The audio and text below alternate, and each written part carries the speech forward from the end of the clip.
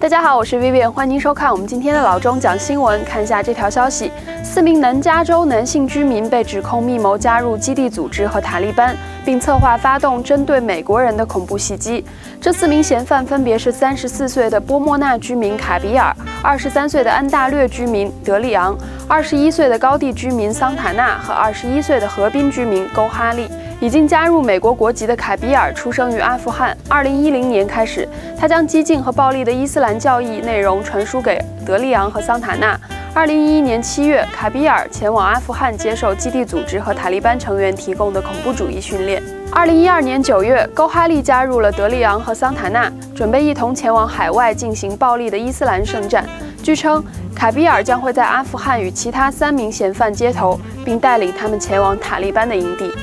再来看这条消息，尼尔森周日公布的一项调查报告显示，苹果 iPad 是美国消费者最受欢迎的圣诞节礼物。调查报告显示，在六岁至十二岁的美国儿童中，苹果产品仍是他们圣诞节礼物的首选。在排名前五位的产品中，苹果产品占到了四款。百分之四十八的人希望在未来六个月内购买 iPad，位居榜首。百分之三十九的人计划购买任天堂。百分之三十六的人希望购买 iPad Touch，百分之三十六的人希望购买 iPad Mini，百分之三十三的人希望购买 iPhone。而在十三岁以上的美国消费者中，百分之二十一的人计划在未来六个月内购买 iPad，同样位居榜首。